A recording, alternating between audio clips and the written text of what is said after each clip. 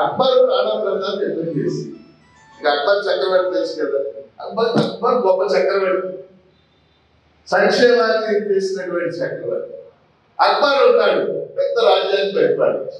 రాణా ప్రతాప్ అనే ఆయన రాజస్థాన్లో చిన్న రాజ్యాన్ని పరిపాలించారు అక్బర్కి రాణా ప్రతాప్ యుద్ధం జరిగింది యుద్ధం చేసుకున్నారు ఏమంటాడు వాడు? ఆర్ఎస్ఎస్ వాడు? అక్బర్ విదేశీయుడు. రాణా ప్రతాప్ మన ఇండియన్. అది ఇండియన్ అనే భావన అక్కడ ఎక్కడ ఉంది ఔరంగజేబు శివాజీ యుద్ధం చేశారు ఔరంగజేబు విదేశీయుడు మీకు అర్థమైంది ఇక్కడ? ఉందా తమాషా. అంటే హిస్టరీ చదవడంలో కూడా చాలా తమాషా ఉన్నది అందువల్ల నేను చెప్పదలుచుకుంది భారతీయత మనమంతా భారతీయులు అనే భావన ఇప్పుడు వందల ఏళ్ళ నుంచి లేదు.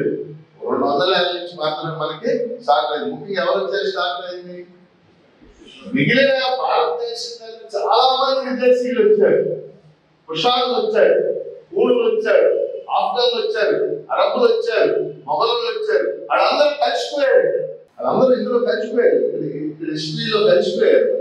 కలవల వాళ్ళు ఎవరయ్యా అంటే మొట్టమొదటిసారిగా బ్రిటిష్ వాళ్ళు వాడు దోపిడీ చేసుకుంటే వెళ్ళాడు ఇక్కడ సంపద అందుకని వాడికి వ్యతిరేకంగా మన జాతీయ ఉద్యమం వాడికి వ్యతిరేకంగా ఉద్యమాలు మనం క్రియేట్ చేస్తాం అందుకని నేను చెప్పదలసిన రెండో పాయింట్ ఏంటంటే భారతీయులు అంటే ఈ అన్ని మతాల ఆచారాలు ఈ అన్ని మతాల సాంప్రదాయాలు ఈ అన్ని మతాల సంస్కృతులు కలిపితే భారతీయ హిందువులు కూడా ఈ హిందువులు మేజర్ పార్ట్. ముస్లింలు ఈ సంస్కృతిలో భాగం.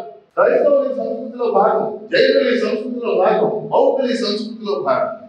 ఇది మన దృష్టిలో ఈ మూడు అంశాలు వాస్తవంగా భారతదేశంలో మతతత్వం మత కలహాలు ఇవన్నీ లేవస్. బ్రిటిష్ వాళ్ళకు ముందు లేదు. ఏదో దాడి చేసేవాళ్ళు. గుళ్ళ మీద కూడా దాడి చేసేవాళ్ళు రాజు. హిందూ రాజులు హిందువులు గోడ మీద దాడులు చేశారు. ముస్లిం రాజులు హిందువులు గోడ మీద దాడి చేశారు. ఎందుకు చేశారు అనుకుంటున్నారు? దేంట్లో దాడి చేశారు?